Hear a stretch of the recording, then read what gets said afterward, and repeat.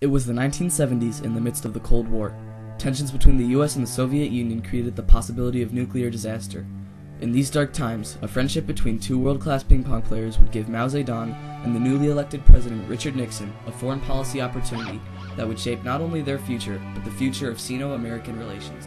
Ping pong diplomacy was a major diplomatic event because it reopened relations between the United States and China, gave the United States an edge in the Cold War negotiations, and ended China's isolationism. Both Chow and Mao frequently practiced sports diplomacy. Mao ordered the media coverage of ping pong matches to pay more attention to politics than the game. Chow ordered CCTV to cover the Romanian star player more than the Chinese during their match on December as soon as he reached the White House, Nixon made better relations with China's top priority. Nixon did this for reasons. He promised voters to bring the U.S. out of Vietnam with honor, and better relations with China seemed to be the easiest way to accomplish this. Nixon also needed to improve the United States' relationship with the USSR, and he believed that a stronger relationship with China would help strengthen its bargaining position. Nixon tried to reach China in every possible way. In 1969, he spoke to many world leaders about the People's Republic of China on the first presidential world tour, and at the 21st anniversary convening of the UN in New York in 1970, he met with Pakistani President Yahya Khan on October 25th, since Pakistan had good relations with both the United States and China. During the meeting, Nixon told Khan it is essential that we open negotiations with China and indicated he was prepared to offer a high-level contact. Nixon asked him to deliver the message directly to the Chinese leaders since he was about to visit Beijing and Agreed. Nixon also approached the Romanian President Nicolae Ceausescu on October 26th in the same way. Ceausescu promised he would speak to the Chinese about the matter and pass on any Chinese responses. On September 9, 1969, Nixon asked the U.S. ambassador in Warsaw to contact Chinese diplomats and indicate that he wanted to begin discussion. As a result, talk between Ambassador Walter Stoessel and the Chinese Charge d'Affaires Lei Yang began January 20, 1970. Stoessel expressed the United States' desire to improve relations with China and offered a higher level contact. Yang promised nothing. As a sign of goodwill, the State Department informed the embassies on January 18th that restrictions on passports to travel to the PRC would expire on March 15th. This goodwill gesture made it possible for the American ping pong team to accept the Chinese invitation to visit China in April 1971. Mao also had reasons to seek a better relationship with the United States. The Cultural Revolution had eroded all the political foundations Mao himself had planted. China was collapsing economically from self-induced diplomatic isolation, and the Soviet-Chinese relationship had become so tense that military clashes occurred on their common border in 1969. Mao had a good reason to be worried. The USSR had brutally suppressed the Czech Revolution under the Brezhnev Doctrine, which gave Russia the right to use military force against any country that challenged Soviet authority. Mao began to consider better Sino-American relations, mostly because of the Soviet threat. He also hoped Nixon would be a person he could deal with, a hope strengthened because of the feelers Nixon had sent out. Better relations with the US offered Mao two main advantages, some security from the Soviet threat and the possibility of gaining control of Taiwan. Like Nixon, Mao also began to send signals about better diplomatic relations to the US approved commentators' articles on Nixon's inauguration speech and the speech itself in the People's Daily and the Red Flag, CCP propaganda newspapers. Kissinger was trying to find the best way to reach China in 1969. Mao ordered four of his marshals to do the same. So Mao met with his old friend Edgar Snow, an American journalist, to send messages to the United States. Mao told Snow that he would welcome Nixon to come to China. A photo of Mao and Snow at Tiananmen was published in the People's Daily with the words, People of the world, including the American people, are our friends, as a positive signal. Mao's idea of using ping pong for diplomatic reasons was hampered by his own domestic policy. The Cultural Revolution did large amounts of damage to Chinese athletics, including ping pong. Several top ping pong players committed suicide after being humiliated and tortured by Red However, the PRC still had its membership in the World Table Tennis Federation, even though they missed the 29th 30th World Table Tennis Championship. Chow En-lai thought the Chinese table tennis team should make an appearance at the 31st Championships in Nagoya, Japan from March 28th to April 7th, 1970, as part of the nation's return to the global community, and began making plans as early as October 1970. It was officially announced in the People's Daily that China would be participating in the championship on February 2nd, 1971.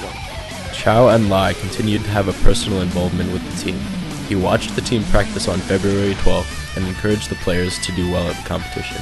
Chow regarded the competition as a political battle and emphasized the philosophy of friendship first, competition second. He met with the team on March 8th to emphasize the political aspects of the tournament, acknowledging the diplomatic and political nature of the game. Chow as a group, we sooner or later will have contact with. If the American team makes progress or improves, we can consider inviting them here for competition. We should have sports competitions with the American. Chow was in secret communication with the White House at this. There were lots of obstacles for China to overcome to participate in the Games. The Norodom Sihanouk government in Cambodia had been overthrown in March of 1970 and ended up taking refuge in China. When the refugees learned that the Lon Nol government was playing in the Games, they asked the Chinese not to participate. Backing out would not impress the Japanese and ruin the Chinese diplomacy strategy, but staying in might present political troubles for Chow, who had been criticized for his pragmatic foreign policy. When North Korea also expressed reservation about China's participation, Chow asked the team if they could participate. Most of the team was against competing. Disappointed, Chow decided to play it safe by referring the decision to Mao, who alone could do anything he wanted. On March 15, 1971, Mao said the team should go. On March 16th, Chow hosted a send-off party for the Chinese team, reminding them friendship first, competition second. Players were also instructed not to talk to the Americans or greet them, and they were only allowed to shake hands after a match. In addition, the Chinese star player Zhuang Zedong was not allowed to play the player from Cambodia, but the Chinese support. The Chinese had their own separate bus and hotel, so the Americans had to start communication with them. Richard Miles, a journalist from Sports Illustrated, a letter to the Chinese asking if he could interview Zhuang Zedong. March 28th, several American journalists shook hands with Song Zhong, the official from the Chinese team, expressed a desire to visit China. Also, American team heads Graham Steenhoven and Rufford Harrison asked if China was willing to let an American team visit. On April 4th, American player Glenn Cowan jumped on the Chinese team's bus. At first, no one said anything to him, but then world champion and Chinese player Zhuang Zedong remembered that Mao had told Snow that China was hoping for better relations with the U.S. He told Cowan through an interpreter that the Chinese and Americans were friends and gave him a small silk painting as a symbol of friendship. Cowan was overjoyed and gave Zhuang a t-shirt and told him he would like to visit China someday. Kissinger thought the Chinese had pre-planned a gesture of friendship. During the competition, Chow En-lai was informed that the teams from Colombia, Jamaica, and the United States expressed an interest in visiting China. Invitations would be offered to the Jamaican and Colombian teams to enhance the political influence and lay down the foundation for the Chinese sports team to visit Latin America. However, it was recommended not to invite the American team because leftist Americans and influential politicians had not yet done so. They might ask for the American players' addresses for future communication. Even though the American team had shown gestures of friendship, on April 6, after three days of thinking, Mao hesitantly approved this course of action.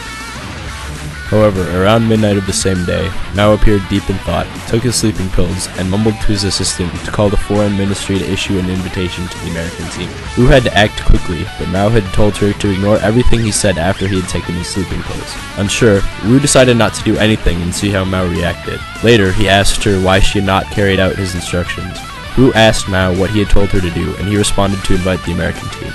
Wu hurriedly called the foreign ministry since it was April 7th, the last day of the competition, and told them to issue the Americans an invitation.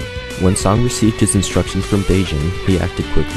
He went to the hotel where the Americans were staying, found Harrison, and asked how the Americans would react to an invitation for the team and officials to go to China. The Americans jumped at the chance, but their only concern was that they would not have enough money for the return flight home. Song, Song said the Chinese would pay for the cost. On April 7th at 7.30, the Americans officially accepted China's invitation to visit. The 15 members of the American ping pong team arrived in China on April 10th and left on April 17th. They were the first American group to come to China since 1949. The team visited Beijing, Shanghai, and Hangzhou.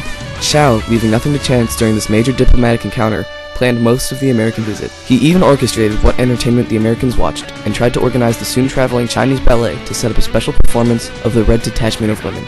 Ping pong matches between the Chinese and the Americans were engineered by Chow also. He printed on the American schedule that the Chinese audience was to applaud the American players, set the text the commentator would read, and instructed that the Chinese and American players were to shake and hold hands while walking to the table, all in the spirit of friendship first. He also instructed the Chinese players to let the Americans win some games. In a meeting on April 14, 1971, between Chow En-lai and the Americans, he told the Americans what it was to be friends from afar. With their visit, the door to friendship had been reopened. Soviets became very alarmed at the Chinese ping pong initiative, warning Washington that it was a trick and they were afraid of the Americans getting dragged in. Nixon and Kissinger were surprised with the news but very pleased as well. Nixon realized the full meaning of Mao's ping pong initiative since he had been the, a recipient of the secret communication with Peking, therefore confirming their desire to work for better relations. Kissinger and Nixon agreed that our whole policy and the current moves on China will help shake the Soviets up, as will Brezhnev's need to make a big peace move of some kind, which should play in our favor for a SALT agreement and a summit conference. Nixon thought China had given them maneuvering room with Russia, and now we are not against the wall. Nixon was impressed with these positive developments and wanted to keep the momentum going. Met with many of us of the American ping pong team in Steenhoven at their house on April 21, 1971 to Kissinger to explore other diplomatic initiatives, as well as making several significant changes in U.S. policy towards China on April 14th, removing the 20-year-old oil embargo and preparing to offer visas for visitors from China. The relaxed currency controls to permit the use of dollars by Beijing, and was considering additional steps to be taken. And Chinese also began to move more quickly after these developments. Chow Enlai sent a message via Pakistan to the US confirming Beijing's willingness to host a special envoy of the President of the UN or even the President himself for a direct meeting and discussion. Nixon responded with three important messages to Chow. He was encouraged by Chow's positive and constructive message. He was personally handling negotiations with China, and he was prepared to accept an invitation to Beijing, and Kissinger would go first to arrange the trip. Nixon also promised Washington would conclude no agreement with the USSR that would be directly against the PRC on May 20th. Zhu responded that Mao welcomed his visit and he warmly looked forward to meeting with Kissinger. Kissinger visited Beijing on July 9th as planned. He was there. Zhao addressed the effects of ping pong diplomacy. See that they invited the U.S. table tennis delegation to China, and they can bear witness that the Chinese people welcomed this visit of the American people. They have also received many repeated invitations from the U.S. Table Tennis Association and the delegation to the U.S. They feel that the American people want to welcome the Chinese people. Nixon visited on February 21st, 1972. Zhao explained that he saw Nixon was right and they played ping pong. Both sides lost certain things in ping pong diplomacy. Mao some of his revolutionary purity, and the U.S. lost major concessions to Taiwan and handed over international credibility and legitimacy. I realized this, and Taiwan replaced as China's sole representative in the UN. Overall, the visit sparked lots of interest among the United States population in China, and also kicked off a healthy relationship and cultural exchange between the two countries.